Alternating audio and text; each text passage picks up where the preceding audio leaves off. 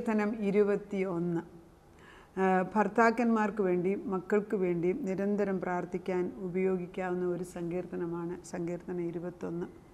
ഇത് റിപ്പീറ്റഡ് ആയിട്ട് നമ്മൾ വായിച്ചുകൊണ്ടിരിക്കണം. വായിച്ചിട്ട് ദൈവത്തിന്റെ ആത്മാവിൽ ഒരു കാര്യത്തിന് വേണ്ടി നമ്മൾ ഇരുപത്തൊന്നാം സങ്കീർത്തനം എടുത്ത് ഏഴ് വട്ടം ചൊല്ലിക്കൊണ്ടിരിക്കുക. പലരും എന്നോട് പറയും മാഡം ഒന്ന് പ്രാർത്ഥിക്കുക ഞാൻ പ്രാർത്ഥിക്കാം. ഒരു പ്രാവശ്യം ഞാൻ പ്രാർത്ഥിക്കും. പക്ഷെ നിങ്ങളുടെ ചുമതലയാണ് അത് വീണ്ടും വീണ്ടും എടുത്ത് ഞാൻ പറഞ്ഞില്ലേ കർത്താവ് നമ്മുടെ പ്രാർത്ഥന അയക്കുമ്പോൾ ഗോൾഡൻ ഗോൾഡൻ പെയിന്റ് ഗോൾഡിനകത്തോട്ട് ബ്രഷ് മുക്കി വെച്ച് ഗോൾഡൻ ലിക്വിഡിനകത്ത് ബ്രഷ് മുക്കി വെച്ച് കർത്താവ് ഇങ്ങനെ ഒരു അത് എഴുതിയിടും ആദ്യമേ.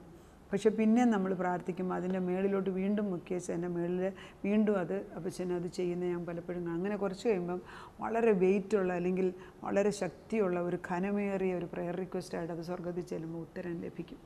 ദാറ്റ് അനാലോജി അനാലോജി ദൈവം നമുക്ക് കാണിച്ചു തന്നത് നമ്മുടെ പ്രാർത്ഥനയിൽ ഉറ്റിരുന്ന് മടുത്തുകൂടാതെ പ്രാർത്ഥിക്കാൻ വേണ്ടിയാണ്. സങ്കീർത്തനം ഇരുപത്തൊന്ന് അതിലെന്താണ് എന്റെ നോക്കാൻ നോക്ക്. യഹോവേ സംഗീത പ്രമാണിക്ക് ദാവീദിന്റെ ഒരു സങ്കീർത്തനം. ദാവീദ് എഴുതിയ സങ്കീർത്തനമാണ് ഭർത്താക്കന്മാർക്കും മക്കളെ അനുഗ്രഹിക്കുന്നതാണ്. യഹോവേ രാജാവ് നിന്റെ ബലത്തിൽ സന്തോഷിക്കുന്നു. നിന്റെ രക്ഷയിൽ അവൻ ഏറ്റവും ഉല്ലസിക്കുന്നു. നമ്മൾ ഓരോരുത്തരും ഈ ദാവീദാകുമ്പോൾ ദാവീദ് രാജാവായിരുന്നു. പക്ഷെ നമ്മൾ ഓരോരുത്തരും ദൈവത്തിന്റെ രാജകീയ പുരോഹിതന്മാരാണ്. സംശയമില്ല. രാജാവും പുരോഹിതനുമാണ്. രാജ്യവും പുരോഹിതനും എന്ന് വെളിപ്പാടി പറയുന്നുണ്ട്. യഹോവേ നമ്മൾ യഹോവേനെ വിളിക്കുകയാണ്. ദൈവമേ രാജാവ് ഞങ്ങൾ നിന്റെ ബലത്തിൽ സന്തോഷിക്കുന്നു. അപ്പം നമ്മൾ ഓർക്കണം. ഒരു ഞാൻ പറഞ്ഞില്ല ഒരു ദിവസം രാവിലെ എഴുന്നേപ്പം ദൈവമേ നീ എന്റെ രാജാവാകുന്നു. അത് അന്തരാത്മാവ് വിളിച്ചു പറഞ്ഞപ്പം ഈ രാജാവ് ആരെന്നും ഈ രാജാവിന്റെ ശക്തി എന്തെന്നും നമ്മുടെ ഹൃദയത്തിലേക്ക് പഠിപ്പിക്കുകയാണ്. അപ്പം കർത്താവിനെക്കുറിച്ച് പറയുമ്പം അവൻ രാജാതി രാജാവും പ്രഭുക്കന്മാരുടെ പ്രഭുവാണ് കർത്താവ് വെളിപ്പാടിന്റെ പത്തൊമ്പത് നോക്കുമ്പോൾ യേശുക്രിസ്തുവിനെ കാണുമ്പോൾ യേശുക്രിസ്തുവിന്റെ വസ്ത്രത്തിന്മേലും അവന്റെ ഈ ദിസ് ആക്ച്വലി അവന്റെ പുറത്തിട്ടിരിക്കുന്ന മാന്റിൽ അതിന്റെ മേലും അവന്റെ തൊടയിൽ മേലും എഴുതപ്പെട്ടിരിക്കുന്നുണ്ട്. എന്താണ് എഴുതിയിരിക്കുന്നത്? King of kings and lord of lords അതാണ് എഴുതി വെച്ചിരിക്കുന്നത്. ആ ഭാഗം ഒന്ന് വായിക്കാം. ഈ നമ്മൾ രാജാവാണെങ്കിൽ നമുക്കൊരു രാജാതി രാജാവുണ്ട്. രാജാവ് ഇരിക്കുന്ന രാജാക്കന്മാരുടെ കൂടെയാണല്ലോ. അവിടെ ഇരിക്കാൻ അറിയാൻ വയ്യാത്തതുകൊണ്ടാണല്ലോ പ്രശ്നം വരുന്നത്. നമ്മളെപ്പോഴും ഈ പല വിശ്വാസികളെയും ഈ ദരിദ്രമായിട്ട് മഹാഭാവിയായിട്ട് പ്രാർത്ഥിക്കുന്നതിൽ അവർക്ക് എന്തോ ഒരു സന്തോഷം ഞാൻ കാണാറുണ്ട്. ഇന്നേവേ ഞാൻ ദൈവത്തോട് ചോദിച്ചപ്പം കർത്താവ് കാണിക്കുന്നത് അവർക്ക് റെസ്പോൺസിബിലിറ്റി അതായത് പിശാചിനെ അടിച്ചിറക്കാനുള്ള ശക്തിയില്ല. അതൊക്കെ ഏറ്റെടുക്കണമെങ്കിൽ മക്കൾക്കല്ലേ അവകാശമുള്ളൂ. എന്നാൽ പിന്നെ മഹാഭാവിയാന്ന് പറഞ്ഞെങ്കിൽ that's not right you have to change it ദൈവം ചെയ്തത് ചെയ്തെടുത്ത് ജോലി വിശ്വസ്തയോടെ വാങ്ങിച്ചപ്പോൾ ഞാനൊരമ്മ എന്റെ വീട്ടിൽ ഭക്ഷണം മേശപ്പുറത്ത് ഉണ്ടാക്കി വെച്ചേച്ച് മേശപ്പുറത്തുള്ള പത്തോ പതിനഞ്ചോ ഐറ്റം ഉണ്ടാക്കി വെച്ചിട്ട് അതല്ല എന്നും പറഞ്ഞ് എന്റെ മകൾ അടുക്കളയിലോട്ട് പോയി ഭക്ഷണം ഉണ്ടാക്കുമ്പോൾ ഞാൻ അവളോട് പറയും നാളെ തൊട്ട് വരണ്ടെന്ന് പറയും. ശരിയല്ലേ ഞാൻ പറയുന്നത്? ബിക്കോസ് ഞാൻ ഉണ്ടാക്കി വെച്ച് നിനക്ക് കഴിക്കാൻ കഴിയുന്നില്ലേ? ദാറ്റ് ഈസ് ഇമ്പോർട്ടന്റ് എത്ര വെറൈറ്റി ഞാൻ ഉണ്ടാക്കി വെച്ചു. അങ്ങനെ തന്നെ കർത്താവ് നമുക്ക് വേണ്ടി രക്ഷ തന്നിരിക്കുകയാണ് അവൻ നമുക്ക് വേണ്ടി ജയിച്ചെടുത്ത് നമ്മളെ മക്കളാക്കി മാറ്റിയവരാണ്. നമ്മൾ ദൈവത്തിന്റെ ആത്മാവിൽ കർത്താവ് തന്നിരിക്കുന്ന പദവി അലങ്കരിച്ച് അതാരെന്ന് മനസ്സിലാക്കി അതനുസരിച്ച് പ്രാർത്ഥിക്കാനും സംസാരിക്കാനും ഇടപെടാനും നമ്മളും നമ്മുടെ മക്കളും അറിഞ്ഞിരിക്കണം. It it is it takes time ഇത് മെച്യൂരിറ്റി ഉള്ളവർക്ക് ഇത് പറയാനൊക്കത്തുള്ളൂ. അതുകൊണ്ട് ഞാനെല്ലാം തികഞ്ഞെന്നല്ല. പക്ഷേ I have learned a lot in in in spiritual life ഓരോ പ്രാവശ്യം ദൈവം എനിക്ക് അനുഭവത്തിൽ പഠിപ്പിച്ചിട്ടുള്ള വചനങ്ങളാണ് ഞാൻ പറയുന്നത്. ഞാൻ അനുഭവിക്കാത്ത പ്രയാസത്തിൽ കൂടെ കടന്നു പോയിട്ട് അനുഭവിക്കാത്ത ഒരു വചനം ഞാൻ പറഞ്ഞു തന്നിട്ടില്ല. വെളിപ്പാടിന്റെ പത്തൊൻപത്. പത്തൊൻപതിന്റെ പതിനഞ്ച് പതിനഞ്ച് തൊട്ട് അതുകൊണ്ട് പതിനാറാം വാക്യം. രാജാതി രാജാവും കർത്താതി കർത്താവ് എന്ന നാമം അവന്റെ ഉടുപ്പിന്മേലും തുടമേലും എഴുതിയിരിക്കുന്നു. അത് കർത്താവിന്റെ നാമം ഇത് രാജാതി രാജാവെന്ന് അവന്റെ മേൽ എഴുതിയിരിക്കുകയാണ്. ദൈവം വചനമാണ്. ഈ വചനം ദൈവശ്വാസമാണ്. ഈ ദൈവശ്വാസമാകുന്ന വചനം എന്ന് പറയുമ്പം അത് റവലേഷനാണ്. കർത്താവ് ഇങ്ങനെ വെച്ചപ്പോൾ എനിക്കൊന്ന് മനസ്സിലാത്ത ആത്മാവിൽ പറഞ്ഞു തന്നിരിക്കുന്ന വചനങ്ങൾ വിശുദ്ധന്മാർ അഭിഷിക്തന്മാർ അവർ ആത്മാവിൽ സ്വർഗം കണ്ടിട്ട് എഴുതി വെച്ചിരിക്കുന്നതാണ്. ആ സ്വർഗം കണ്ടത് എഴുതി വെച്ചിരിക്കുന്നത് അവർ സ്വർഗം കണ്ടേച്ചാണ് എഴുതിയത്. നമ്മൾ ഞാൻ പറയുമ്പോഴോ അല്ലെങ്കിൽ നിങ്ങൾ വായിക്കുമ്പോഴോ സ്വർഗം കാണുകയാണ്. ദാറ്റ്സ് എ ഡിഫറൻസ് അവർ അതിവിശുദ്ധ അതിവി അവർ അതിവിശുദ്ധമായ ദൈവത്തിന്റെ സന്നിധിയിൽ കടന്നു ചെന്നിട്ട് മൂന്നാം സ്വർഗം കണ്ടിട്ട് അതാണ് പൗലോസും ദാനിയലും ഒക്കെ എഴുതി വെച്ചിരിക്കുന്നത്. സ്വർഗം കണ്ടത് അവരിവിടെ എഴുതി വെച്ചു. അപ്പം നമ്മൾ കണ്ടില്ല. പക്ഷെ നമ്മൾ വായിച്ചിട്ട് വിശ്വസിച്ച് വായിക്കുമ്പോൾ നമ്മളത് കാണുന്നു. സോ ഇത് നമുക്ക് എഴുതി വെച്ചിരിക്കുന്ന അവർ കണ്ടു. അവർക്ക് അവരുടെ ബുദ്ധിമണ്ഡലത്തിൽ അത് അതുപോലെ ക്ലിയർ ആയതുകൊണ്ടല്ലേ പൗലോസിന് ഇത്ര ബുക്കുകൾ ലേഖനങ്ങൾ എഴുതാനൊത്തത്? അപ്പം നമ്മൾ മനസ്സിലാക്കേണ്ടത് എന്താണ് കർത്താവിനെക്കുറിച്ച് പറയുന്നത്? ദൈവം ദൈവത്തിനെക്കുറിച്ച് വെളിപ്പാടി പറയുന്നത് അവൻ അവന്റെ പേര് അവന്റെ പേര് വചനമെന്നാണ്. അത് ദൈവം നമ്മൾക്ക് വചനമായിട്ട് നിൽക്കുമ്പോൾ ആ വചനം ഏഹ് പത്തൊമ്പത്. വെളിപ്പാടിന്റെ പത്തൊൻപതിന്റെ പതിമൂന്ന്.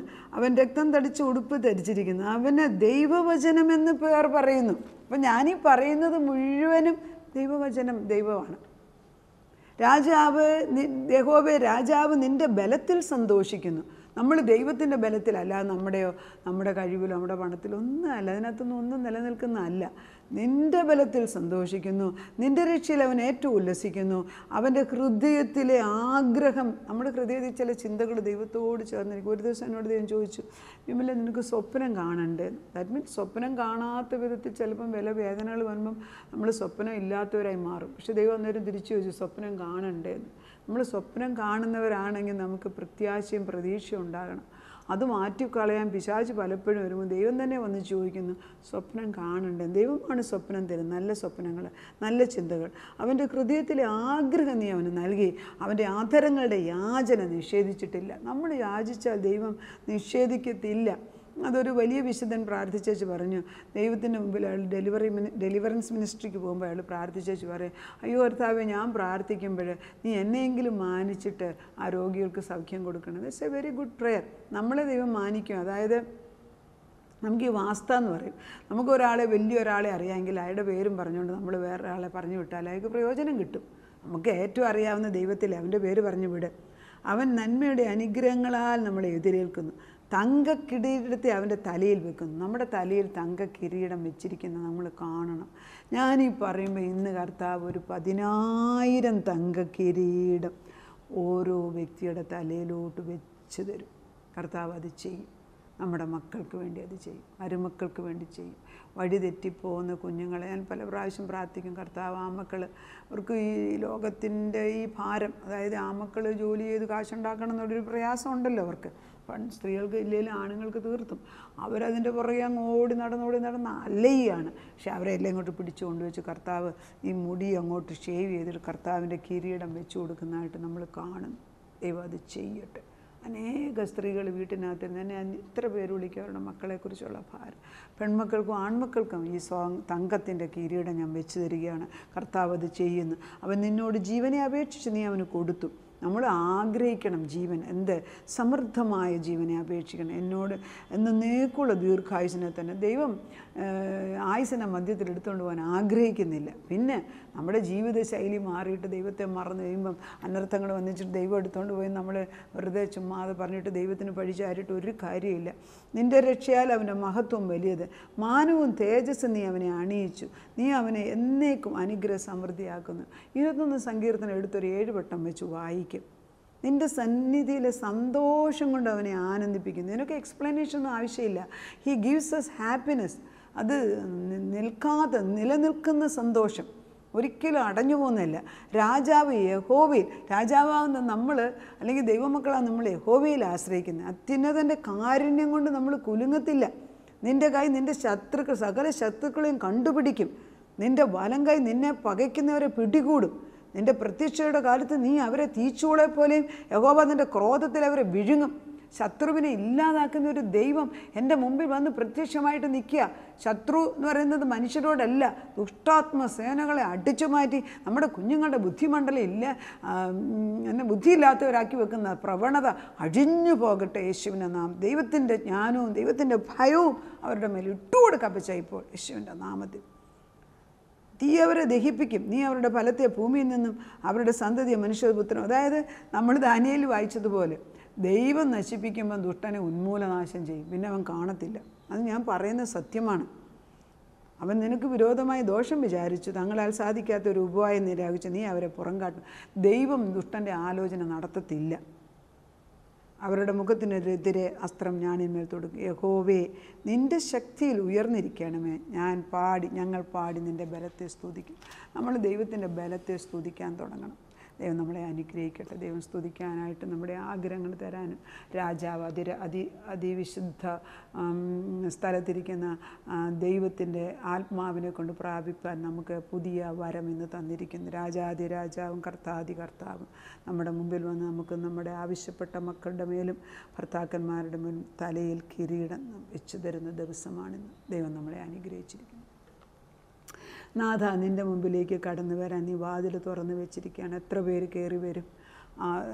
മടിയുള്ളവരും പാവിയാണെന്നും പറഞ്ഞു വന്നിരിക്കുന്നവർക്ക് അങ്ങോട്ട് കയറാനൊക്കത്തില്ല കാരണം ഇത് വിശുദ്ധ സ്ഥലമല്ലേ അതിനാൽ അതിവിശുദ്ധ സ്ഥലത്തേക്ക് ഞങ്ങളെ എല്ലാവരും വിശുദ്ധ രക്തത്താൽ കഴുകി ശുദ്ധീകരിച്ച് സ്ഥാനം കൊണ്ട് ദൈവമക്കളെന്നുള്ള പദവിയിലാക്കി ഞങ്ങളുടെ ബലഹീനതയെ മറച്ച് തുടച്ച് കളഞ്ഞിട്ട് പുത്രൻ തമ്പുരാൻ പിതാവിന്റെ മുമ്പിൽ ഞങ്ങളെ കൊണ്ട് നിർത്തുമ്പോൾ ഞങ്ങളുടെ തലയിൽ കിരീടം വെച്ച് തരുമ്പോൾ പിതാവും പുത്രനും പരിശുദ്ധാത്മാവും സന്തോഷിക്കുന്നു. ഞങ്ങളും സന്തോഷിക്കുന്നു.